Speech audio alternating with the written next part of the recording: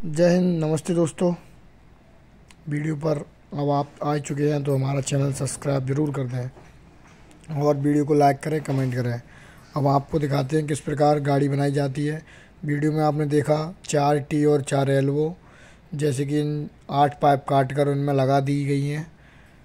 इनको लगाने के बाद दो पाइप जो टी के साथ आपको सामने दिख रहे हैं, उसमें ये जो पहिए हैं, बुल्ट हैं, पहिए जितने मज़बूत होंगे गाड़ी उतनी मज़बूत चलेगी, क्योंकि कई जगह चीकना रहता है, कई जगह खुरदरा रहता है तो उसमें पहिए ख़राब होने की वो रहती है, लेकिन अच्छे पहिए लगाएँगे तो गाड़ी अच्छी चलेगी। कई बार केसों में ऐसा आता है कि रोड पे घूमता है तो रोड पे बढ़िया टायर हैं तो अच्छी तरीके से चलते हैं। और देखिए अब हम इस गाड़ी, इनको किस प्रकार जोड़ते हैं, कैसे गाड़ी बनती है, अगर आपको डायरेक्ट हमसे संपर्क करना है तो हमारा नंबर स्क्रीन पर दिख रहा है। आप वहाँ से हमसे संपर्क कर सकते हैं और आपको गाड़ी चाहिए तो आप मंगा सकते हैं। सबसे पहले जो टी थी, उनमें पहिए कस लिए गए थे।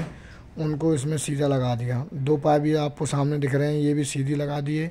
और जो एल्बो वाला पाइप था, जो नीचे जो बीच में दिख रहा है, जहाँ हम पकड़े हुए हैं, ये सीधा पाइप है, उसको इसमें फिट कर दिया। आपको केवल बॉन्ड से चिपकाना है और पहले नहीं चिपकाना है, क्योंकि पहले चिपका दोगे तो आपने चिपकाया इधर उधर हो गया तो गलत चिपक जाएगा। इसलिए आप बाद में चिपका सकते हो। और देखिए, गाड़ी लगभग तैयार हो चुकी है, इसमें केवल बेल्ट की ज़रूरत है।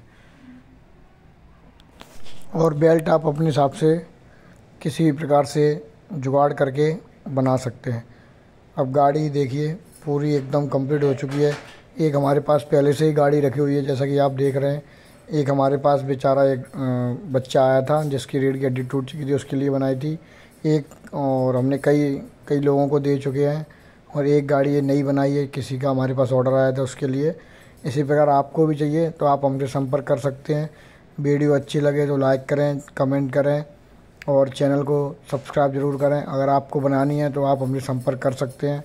आपको अपने यहाँ पहुँचाएँ तो आप इस नंबर पर व्हाट्सअप करके भी संपर्क कर सकते हैं और हमारा सहयोग कर सकते हैं।